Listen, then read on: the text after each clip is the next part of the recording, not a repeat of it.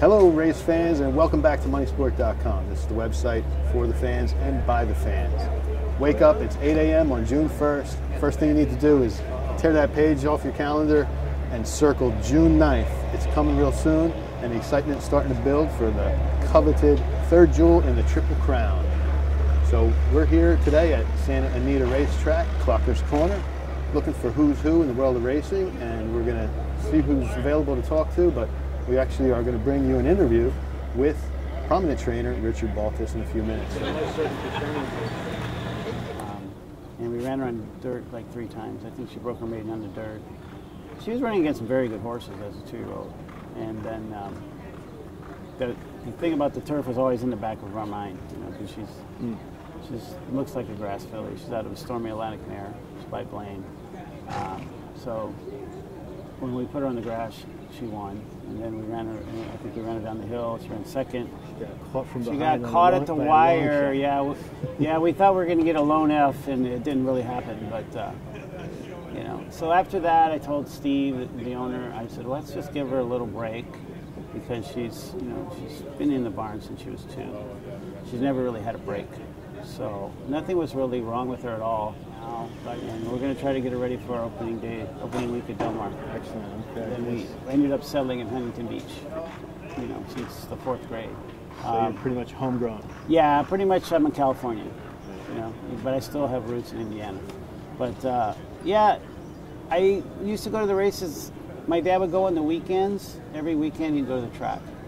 We just Yeah. loved playing the horses. And um, you know, we used to come out here to Santa Anita. And you know, um, I also remember coming out here and, and just I would always look at the trainers in the paddock and the horses.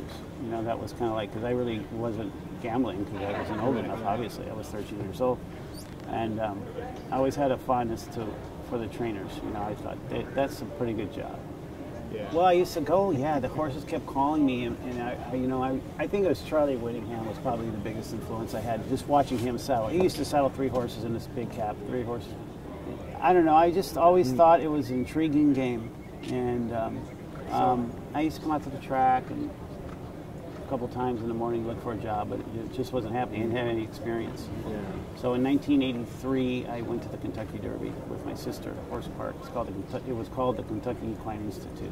Well, basically, what they wanted to do was teach people about horses so they could be qualified to work on the farms. Farm. So I was I was working at a, at a farm called Pillar Stud, and I saw a mare, a stallion breed a mare, and I was like cutting grass, and you know, you drive through into the to the barns, and uh, it's just like oh, it was unbelievable. You know, I was like just awestruck. You know, I thought, wow, these are the greatest horses in the world.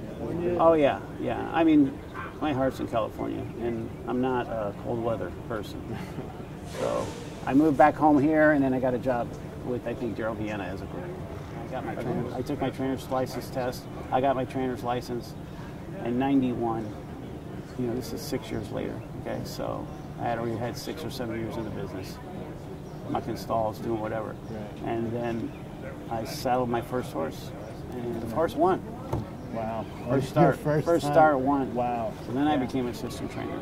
I see. I wrote a res- I had a resume made up. I went and talked to Richard Mandella, and uh, gave me a job.